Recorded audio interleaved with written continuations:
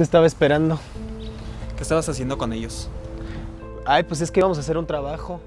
Tú sabes que esos güeyes siempre están hablando mal de mí. Ay, tranquilízate, son mis amigos, Paco. Ah, ¿los prefieres a ellos? No, no es eso, pero pues iba a ir con ellos, nunca salgo.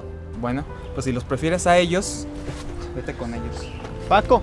Si te intenta manipular, no es amor, es violencia. Campaña disuasiva de la violencia en el noviazgo. Citelis. Gobierno de Michoacán. Michoacán se escucha.